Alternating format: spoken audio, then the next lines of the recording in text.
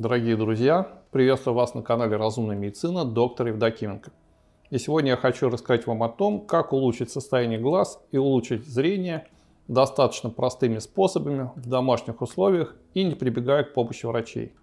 Об этом видео нас очень давно просили многие наши зрители. Методы, о которых я буду рассказывать в этом видео, помогают и просто при усталости глаз, и при различных вариантах нарушения зрения – как при близорукости, так и при дальнозоркости, и при астигматизме тоже. Конечно, нужно понимать, что самые тяжелые нарушения зрения наши методы вряд ли помогут исправить. И если у человека зрение было минус 10, то едва ли оно придет в норму без специальной корректировки. Но в той или иной степени улучшить зрение наши методы помогут в большинстве случаев. Итак, если человек набирает в интернете «как улучшить зрение», то почти наверняка одним из первых ему выпадет «кушайте чернику». Черника это, конечно, хорошо. Она вообще во многих случаях весьма полезна. Но значительно улучшить зрение она вряд ли поможет. Какое-то пользу она, конечно, принесет. То есть, да, вы можете кушать ягоды черники или делать настой из листьев или из побегов черники. Это будет полезно, но не ждите от этого слишком уж больших результатов. Многие люди считают, что для хорошей работы глаз нужно принимать витамин А. И действительно, витамин А улучшает состояние глаз, но в основном он отвечает за так называемое нормальное восприятие цвета.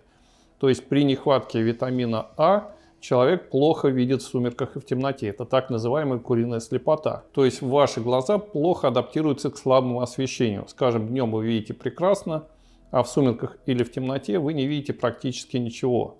Это почти стопроцентный признак нехватки витамина А. Еще при нехватке витамина А может возникать сухость глаз.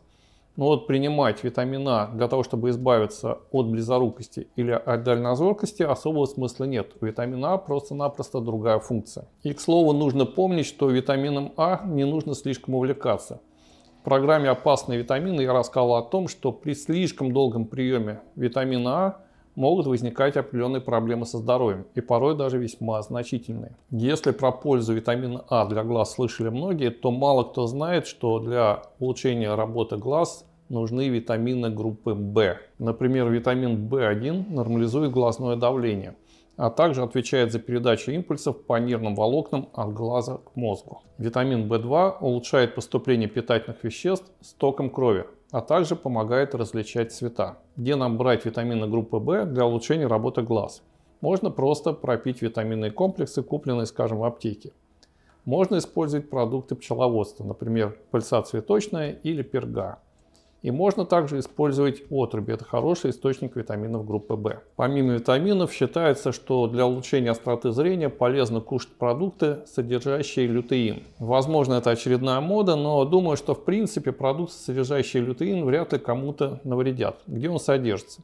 Он содержится в шпинате, в брокколи, брюссельской капусте, кукуруза, зеленый горошек, перец, яичные желтки – тыква и сладкая паприка. Это еще не полный перечень продуктов, вы можете их посмотреть в интернете. Еще раз подчеркну, что сейчас существуют научные исследования, которые говорят о том, что лютеин полезен для глаз.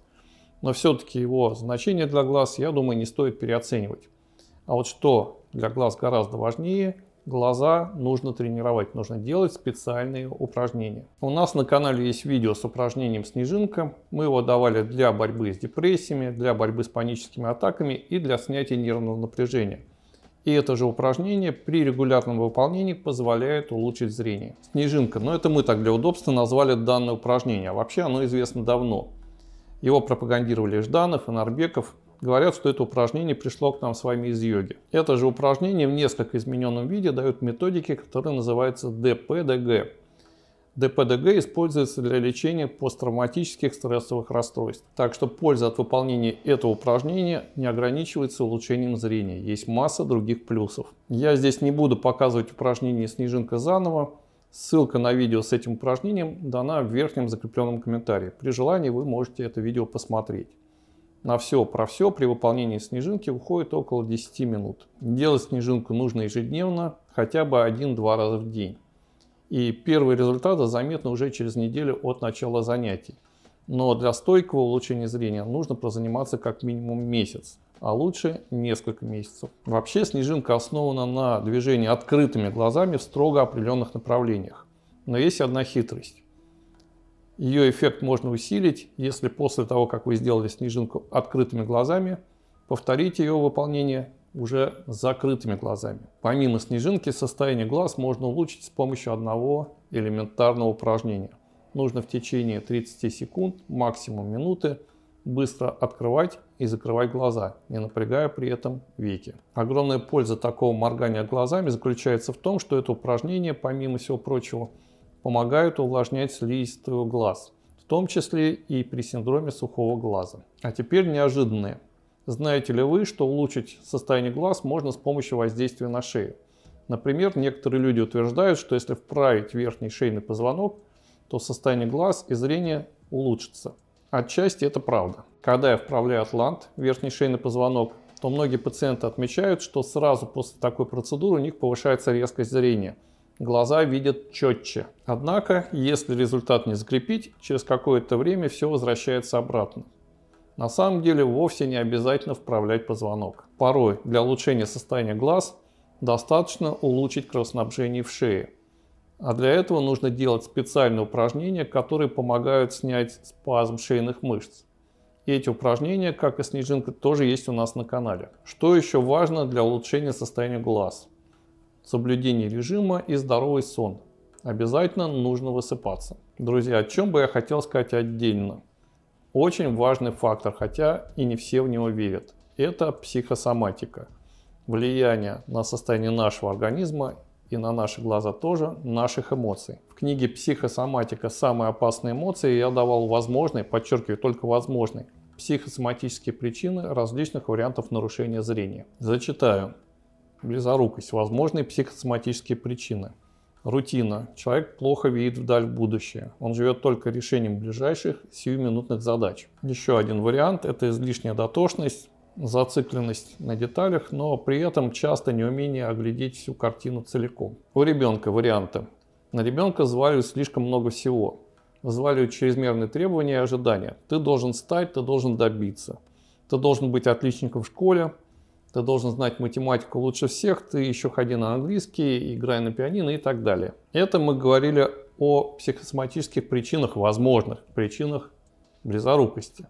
А теперь о возможных причинах дальнозоркости, когда человек хорошо видит вдаль, но не видит вблизи.